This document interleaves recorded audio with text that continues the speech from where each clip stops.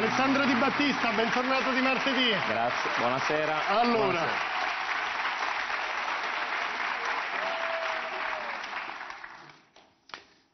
cominciamo dalle banche. Ancora dopo due anni? Allora, Ignazio Visco, cosa l'ha colpita di questo fatto? Lui ha detto, ho parlato due o tre volte con Renzi, la prima volta parlavamo di economia, la seconda eh, ha fatto delle battute su, sugli orafi di Vicenza che comprarono quelli di, di Arezzo, ma non ho neanche risposto. Una terza volta mi ha detto parliamo di banche, io ho detto se ne occupa Padoan, il mio referente è Padoan. Lei che ne deduce?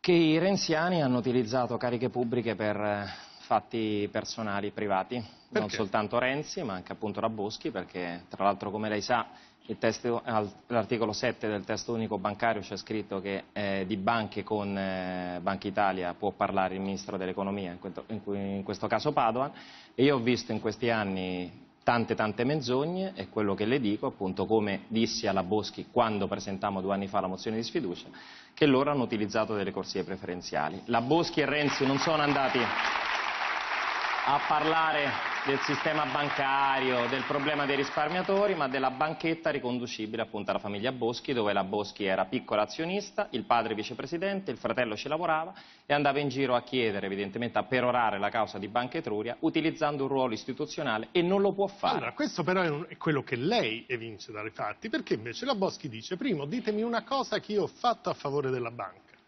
Il fatto che io vada a parlare della banca del, del mio territorio, la banca di Arezzo, è in qualche misura, diciamo, non solo legittimo, ma quasi doveroso. Lascia intendere Renzi, poco fa ha detto, ma io mica sono un passante, io mi devo informare sulle cose, è normale che parli anche con le istituzioni. Mio padre è un piccolo imprenditore che c'è una piccola impresa nel Viterbese.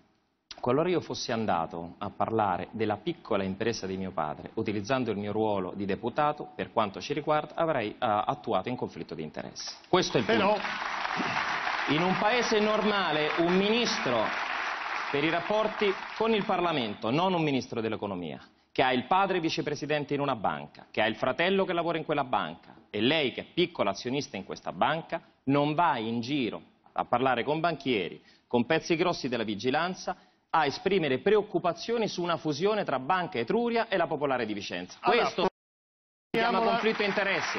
Poliamola Ce in un altro modo, perché le Scusi, chiedo una eh, definizione Flori, di conflitto Per di vent'anni interessi. ce l'hanno menata con il conflitto di interessi di Berlusconi, non l'hanno toccato e si comportano peggio che di Berlusconi. Le chiedo una Così definizione di conflitto di interessi perché poniamo che questa sia la sua, sia la sua scelta, no? Dice io non l'avrei fatto, poi più che un'impresa dovrebbe parlare di una banca perché il credito per una zona importante, no? Banca Etruria è importante per l'Aretino a prescindere dal ruolo della Boschi.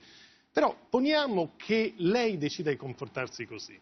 La Boschi dice io L'antitrust ha detto che non c'era conflitto di interessi. In Parlamento c'è stata una mozione di sfiducia vostra ed è stata respinta. Il partito è solidale perché nessuno mi chiede di andarmene.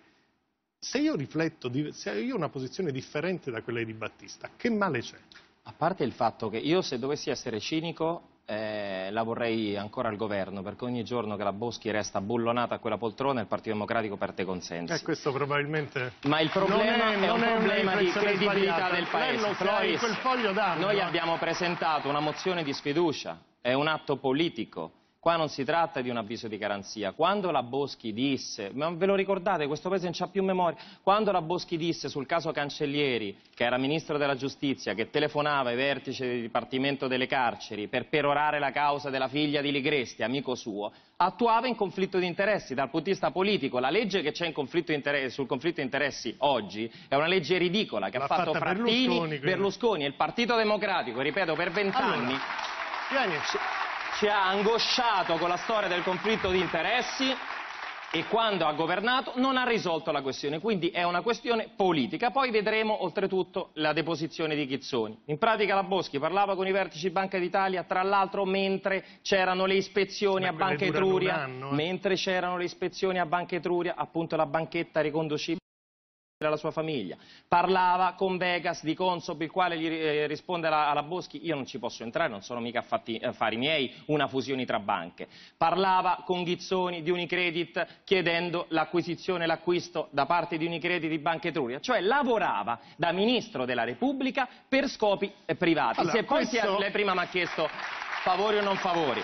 Se no, poi le chiedo lei sia cosa. stato in grado o no di lavorare a quindi favore per della lei è sua... un concetto di opportunità Ma politica. certo, ecco, è mica una- siamo andati a denunciarla in procura. Quindi siamo è discrezionale, diciamo, ne risponderà delle sue Ne, decisioni. ne perché risponderà innanzitutto tra poco davanti al popolo italiano, come però già ne ha risposto quando gli hanno bocciato le riforme costituzionali la Boschi, come Renzi dichiararono urbi e torbi anche di fronte al Parlamento Renzi, quindi di fronte al Paese intero, qualora dovessimo perdere il referendum abbandoneremo la politica. Io, cioè, io, io dal 2014 che dico che non mi sarei ricandidato qualora fossimo arrivati a fine legislatura e così è stato. Allora. La parola data, ma penso che oggi lo dica pure Richetti che attacca Renzi. Guardi, me lo me sembrava, lui dice, ma non c'è certo, non sono assolutamente contro Renzi, hanno preso, preso un minutino, ma Eh, non vabbè. è... Questo è il momento in cui tutti... È una eh, polemica montata sul nulla secondo L'equipaggio Richetti. Floris abbandona la, la nave che sta affondando, cioè il Partito Democratico, che ha governato e non ha risolto nessun problema. Doveva abolire i vitalizi, doveva abolire i costi della politica, doveva fare gli interessi dei lavoratori e hanno abolito l'articolo 18. Questi di sinistra, no? questi pugno chiuso e foto di Berlinguer, questi ipocriti dentro l'ufficio hanno abolito l'articolo 18 dello Statuto dei lavoratori. Allora,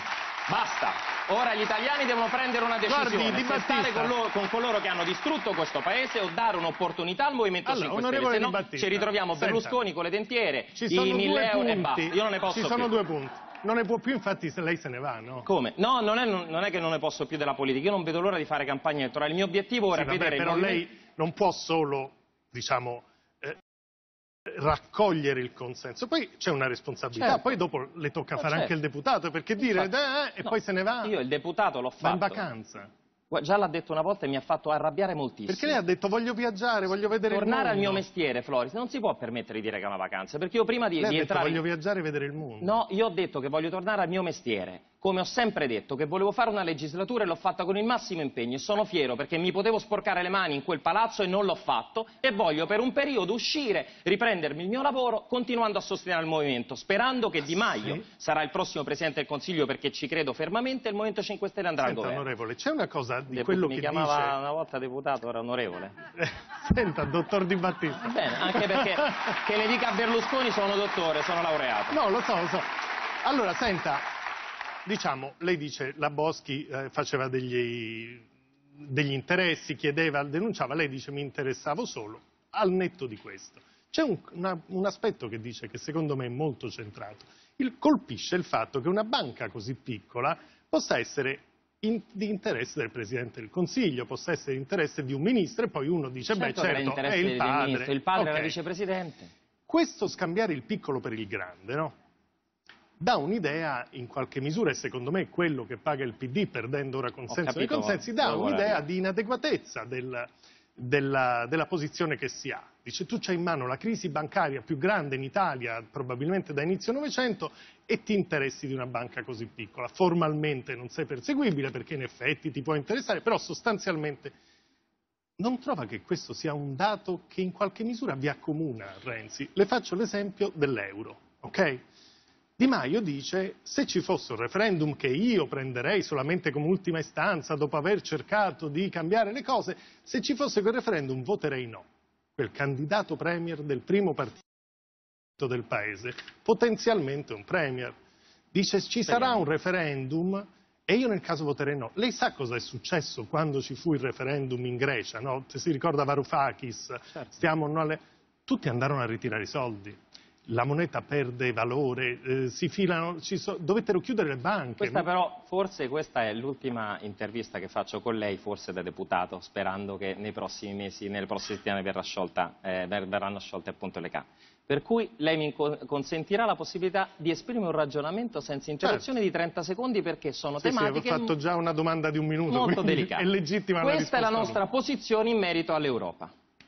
Io ho visto che negli ultimi anni l'Europa ha messo bocca sulle pensioni, sul prezzo della feta in Grecia, sulla riforma Fornero, è stata di fatto un'unione finanziaria, imponendo alcuni parametri votati tra l'altro nella passata legislatura da tutti quanti insieme, da Bersani, Meloni e Berlusconi, tutti quanti dei parametri che strozzano le nostre imprese e le nostre famiglie, le ci strozzano perché non ci permettono di fare investimenti, eccetera, eccetera. Quello che vogliamo fare noi, per la prima volta ci, ci sarebbe un governo che non ha questi legami con il capitalismo finanziario, con le banche d'affari. Noi andiamo lì, con il mandato del popolo italiano per ridiscutere determinati trattati.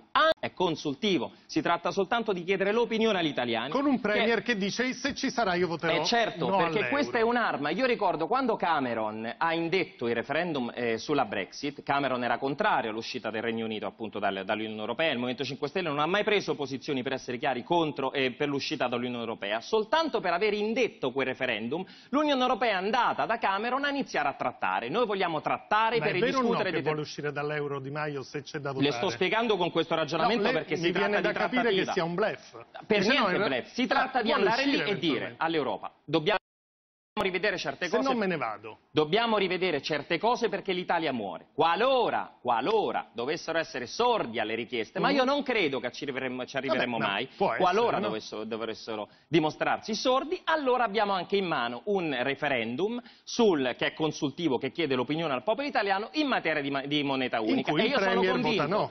In cui il Premier, anche il sottoscritto in, in, quel caso un voterebbe no. limite da porre ai prelievi Io sono con- io sono in Grecia si mise 60 euro al Floris, giorno. io sono convinto che a questa ipotesi non ci arriveremo Vabbè. perché otterremo dei risultati. Però- Eh, però questa è la trattativa, quella trattativa, che for worst, hope for best. No, cioè speriamo È che le cose vadano bene, ma che, per- vanno che male, non è mai stata fatta. avete posto un limite ai contanti che si possono prelevare abbiamo- dalla banca? abbiamo in mente questa strategia che ci consente di utilizzare anche un'arma in Europa per ottenere dei risultati per il popolo italiano, perché l'applicazione to cure del fiscal compact di queste Vabbè. regole produce lo smantellamento dello Stato sociale. E io, e io per concludere, perché io sono chiaro su queste cose, tra l'unione monetaria e i diritti delle famiglie, dei risparmiatori, dei pensionati, della salute pubblica, dell'istruzione pubblica che è stata sistematicamente smantellata dalla falsa sinistra e dai liberisti. Eh, che- La garantisce uscendo dall'euro? No, la cose? garantisco con una trattativa. Ripeto, qualora questa, qualora questa...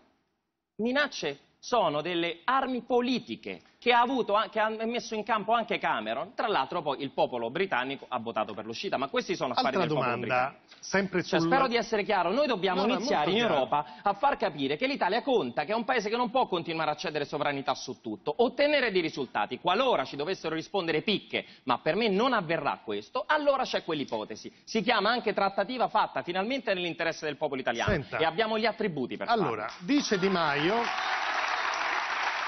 abolirò, abolirò la Fornero. Dice, beh, la Fornero ci fa risparmiare molto. Dice, beh, ma io metterò fine alle pensioni d'oro. Si parla di 12 miliardi.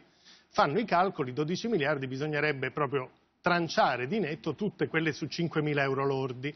Lui dice, beh no, ma non lo farei subito, lo farei con un po' di tempo. Noi abbiamo un cartello, abbiamo fatto anche noi dei conti, no? Allora, per eh, risparmiare in un anno 12 miliardi, che è quello che diceva Di Maio, bisognerebbe in un anno azzerare 145.000 assegni da 2.500 a 3.000 euro netti, oppure tagliare il 21% dei redditi di un milione di personati. Vabbè, non è un anno, sono sei. Allora dobbiamo azzerare 13.000 assegni da 5.000 euro netti, o tagliare del 3,5 i redditi. Questo per fare 12 miliardi, ma la Fornero ne fa risparmiare 20 l'anno. Rimarremmo pure sotto di 8 miliardi. A parte il fatto che il dramma della Fornero, io lo dico, io ho quasi 40 anni, ho alcuni amici di 30 anni che non, hanno- che non lavorano. Il dramma della Fornero non è soltanto il pensionato che va in pensione a 67, 68, 69 anni. È il giovane che non riesce anche a entrare nel mercato del lavoro, proprio perché questo paese ha troppi nonni in fabbrica e troppi nipoti seduti sul divano, e non perché sono bamboccioni, perché non c'è lavoro Certo, se non estremamente precario. Non Per è legato fatto- alla Fornero però questo. No, è, è legato al pensionamento eccessivo. Qua ci stanno cittadini che vanno in pensione a, a 70 anni, magari dopo 40 anni di lavoro, dopo un lavoro usurante, e questi No, non ma sono temo- diritti. Noi vogliamo dare un minimo di qualità di vita. Loro vanno in pensione non vengano sostituiti, eh, il problema è che manca il lavoro, cioè non è che Certo se che loro manca il vanno in lavoro, pensione però, subentra un però come vede, qua, eh, costringere i cittadini ad andare in pensione troppo tardi impedisce l'entrata in questo mercato del lavoro. Ora è campagna elettorale, per cui tutto quello che dice Di Maio viene vivise- vivisezionato. Io ci sto. L'aveva detto pure Renzi, Io, è uguale. io ci sto, poi guardo Berlusconi che fa il bello e il cattivo tempo con fogli in mano, nessuno mai gli ha, chiesto che, che diavolo ci sta in quei fogli mano e Berlusconi che spara balle del milione di posti di lavoro e va tutto bene. Allora sulle pensioni, Ah, questa- che vuol dire? Non è Poi, che se- questa, questa è la nostra posizione sulle pensioni. Io ho visto in questi anni che i sacrifici hanno- gli hanno- glieli hanno fatti fare esclusivamente alla povera gente. Noi abbiamo questa posizione, le pensioni sopra i 5.000 euro netti, 5.000 euro netti, quindi non sono bruscolini, ci va messo un tetto chiaramente scaglionato, perché ci sono persone pure che prendono una pensione di 20, 30.000 euro al mese.